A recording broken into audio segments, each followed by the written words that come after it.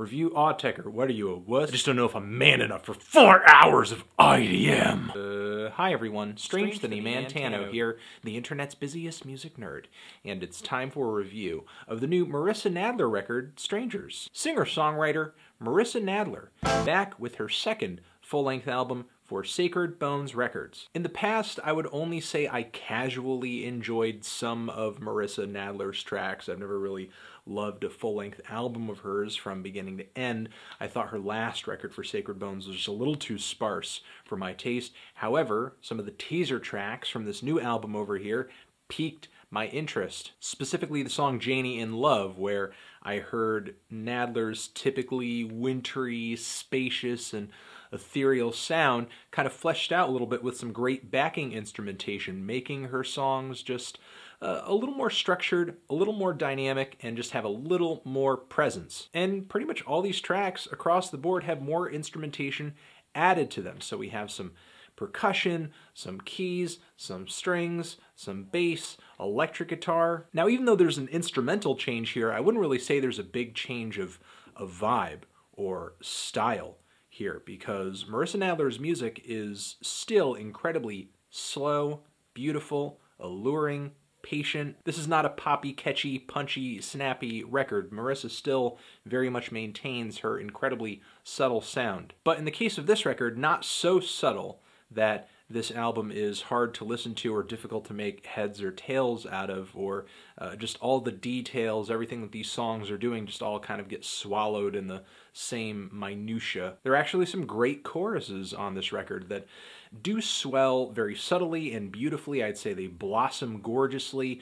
On the surface, this album is very pretty to the ears and it only delivers more details and some interesting lyrical ideas too as I honed in on it. Now, if the added instrumentation provides anything to this record, it is versatility from the very skeletal and acoustic and chilling Shadow Show Diane to the dramatic drum fills and organ chords on the song Nothing Feels the Same. We also have the song Skyscraper, which feels pretty folky with its finger pick guitars, but also behind these acoustic guitars, there's this growing ominous drone of what seems like deep bass and some high pitched tones too at some points in the track. The title track here has kind of a very slow almost heavy country feel. In a way, it, it, reminds me of that Earth album Hex. Funny thing that I honestly did not know when I was recording this review is that Earth's Hex and this new Marissa Nadler album were both, in fact, produced by the same person, Randall Dunn.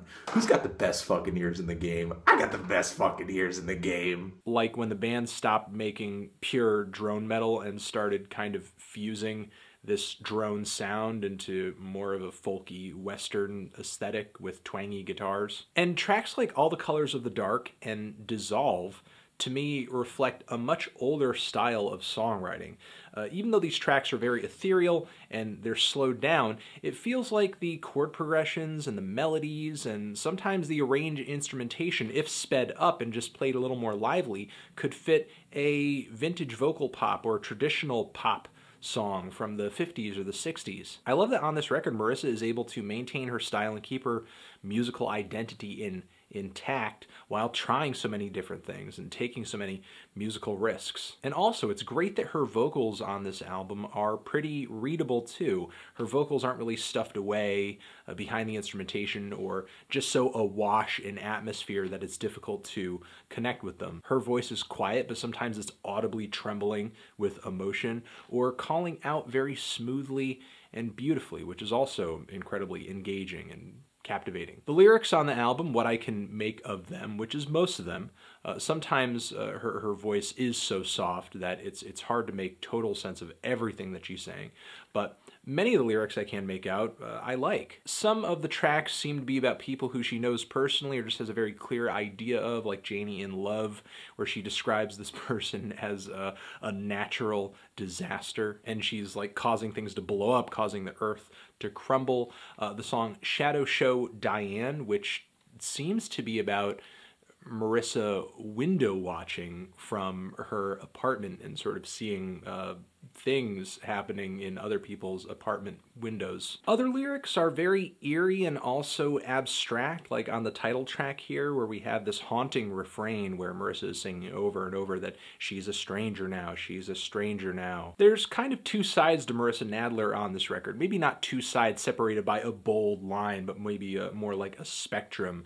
There are moments where she comes off as this very aged and experienced songwriter with a kind of weary voice, singing songs about love and introspection and just relationships, telling stories and relaying personal experiences.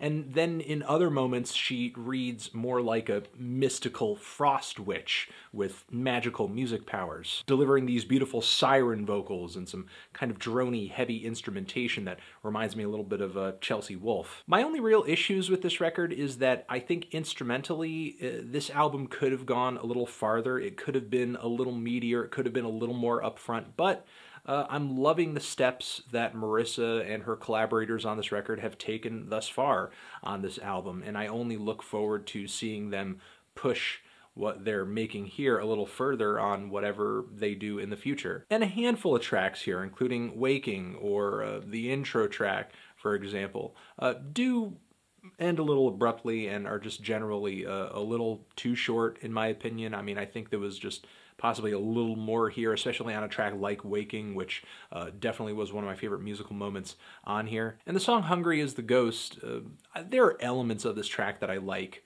but it was just maybe a little too spacey in comparison with some of the other tracks here. I think uh, the song kind of devolves into a somewhat tedious drone, really, and that the song, the tune at the core of this instrumentation uh, gets lost in that a little bit. But outside of that, I think this record's really great. Uh, this is definitely one of the better singer-songwriter records I've heard this year. This is my favorite Marissa Nadler record so far in her discography. I think it's her best album thus far in terms of instrumental presentation.